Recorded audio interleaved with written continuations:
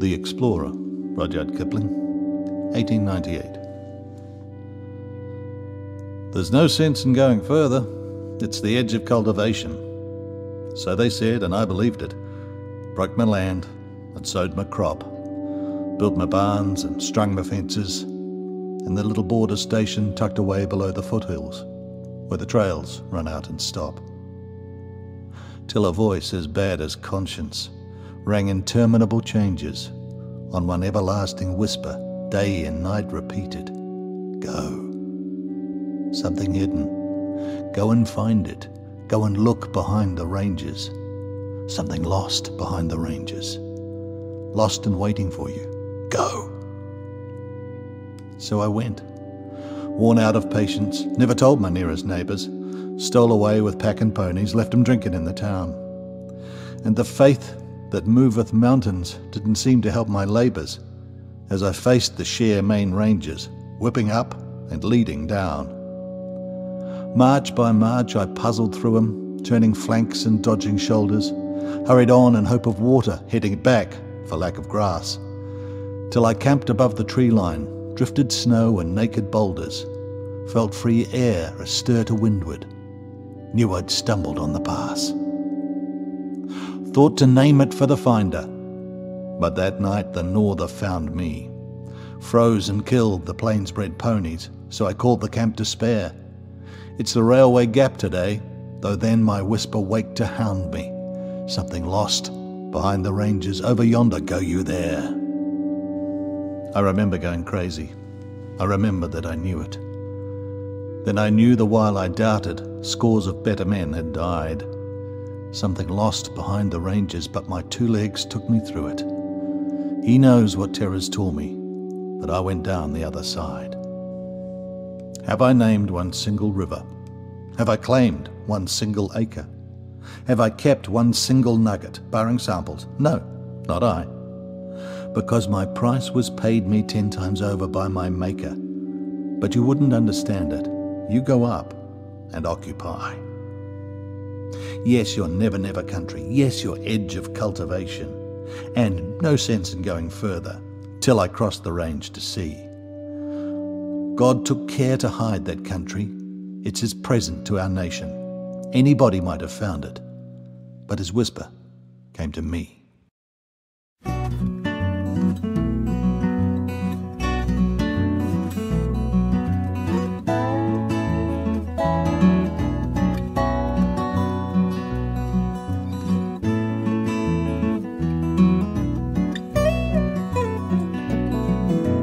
Once upon a moonlit night, a lone prospector walked out of sight, out of sight along the track. Along the track, he never came. Captain Moonlight, Moonlight was his name. Captain Moonlight, Moonlight was his name.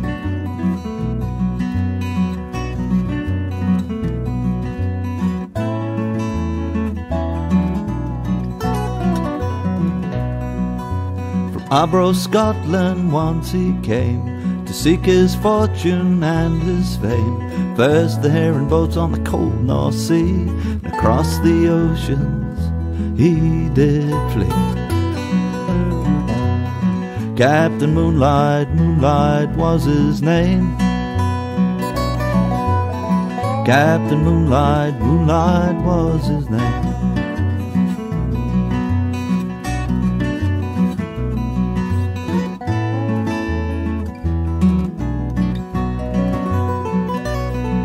Was a striking man, there's no dispute. His jet black hair and his blackjack boots, the pocket compass and a rusty pick on the Buller River.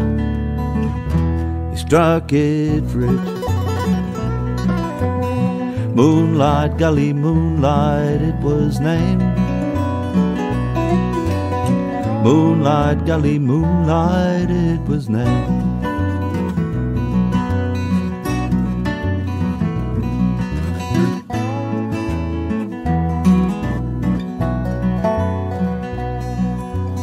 Opened a store in a hotel too, and With those drunkards he knew what to do. Soon he was the sheriff of a Wild West town, later to be known as Murchison. Sheriff Moonlight, Moonlight, he was named. Sheriff Moonlight, Moonlight, he was named.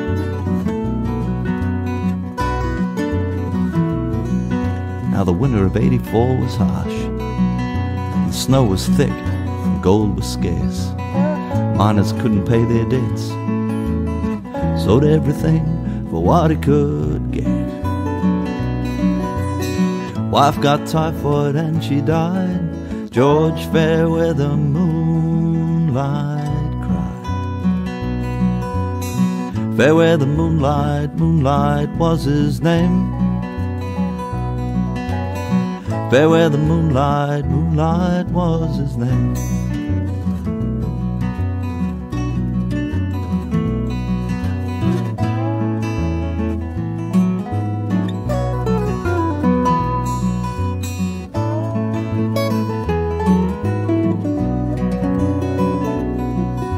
So once upon a moonlit night, a lone prospector walked out of sight, out of sight along the track along the track, he never came back. Captain Moonlight, Moonlight was his name.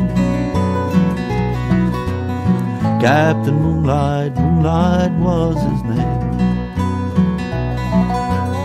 Captain Moonlight, Moonlight was his name. Captain Moonlight, Moonlight was his name.